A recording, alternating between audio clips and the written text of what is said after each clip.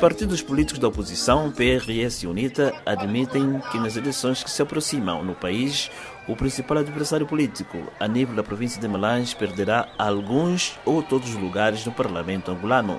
O secretário provincial do Partido de Renovação Social admite que a vitória dependerá da confiança do eleitorado, que despertou e pensa em dias melhores, ao contrário dos cinco deputados efetivos que o MPLA detém desde as primeiras eleições gerais. É, se o povo é, termos aquele bom senso e de, quer deixar de sofrer, é, vai eleger o PRS como é, uma das, das melhores opções para a governação futura dos cinco anos. O PRS conquistou cerca de 500 novos militantes desavindos dos partidos Agora e FNLA nesta região de Angola. Mas tivemos também perca.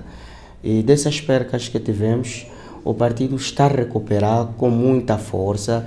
Até exato momento, nós temos aqui alguns membros que já fazem parte da nossa forças política. Eu encontrei uma nova dinâmica política, fui recebido como um homem honrado.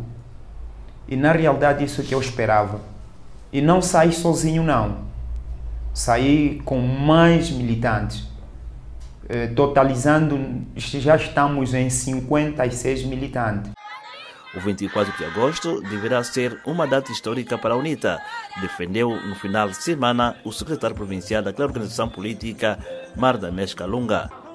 Então, os cinco deputados que nós temos em Malange são todos do partido do MPLA. Quando estão na Assembleia, ninguém discute sobre a província de Malange. Só defendem o partido que lhes mandou lá. Estamos a entender? E Malange só está podre por causa dos 5-0. Esse desafio é para os malanginos, companheiro.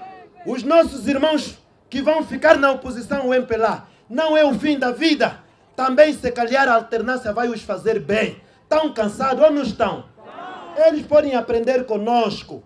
Porque quem está a jogar, se calhar não vai ver como é que está a jogar. Mas estando fora do campo, pode ver que andou a falhar aqui. Quando um dia voltar a jogar, vai melhorar. Não podemos ter medo ou falar baixo de que vamos ganhar. Nós temos que acreditar primeiro em nós que vamos ganhar. Isso chama-se atitude positiva. Temos que ter uma atitude positiva. O apoiante de Adalberto Costa Júnior referiu. Também nós estamos a pedir. Como estão a dizer que o engenheiro não estudou, vamos agora para as eleições. E isso acontece em qualquer parte do mundo. Os candidatos têm que ir a debate na televisão e na rádio, não é verdade? Queremos debate entre João Lourenço e o engenheiro Costa Júnior. Isaías Souza Malange para a Voz da América comunidade, vamos levar